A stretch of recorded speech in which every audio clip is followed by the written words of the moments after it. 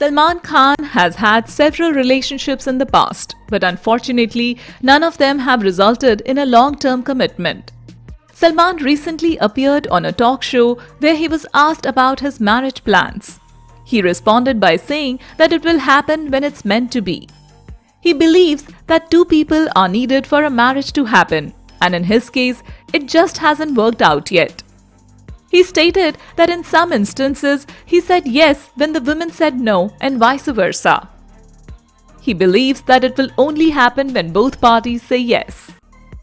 Salman Khan also agreed that he is aware that he has a bad track record when it comes to relationships. He has had many girlfriends in the past, but things have not worked out between them. Salman admits that it was his fault that he is still single. When his first girlfriend left him, it could have been her fault. But then, when the second, third, fourth, fifth, and sixth girlfriend left, he realized that the fault was with him. With every subsequent relationship failure, he has become more self aware and now realizes that it was solely his fault.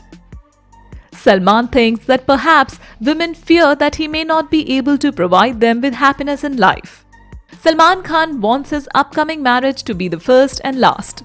He just turned 57 and he believes that there is still time for him to settle down. He is hoping that he finds someone who will accept him for who he is and bring happiness to his life. Salman has accepted his mistakes and he is ready to move on to a new chapter in his life.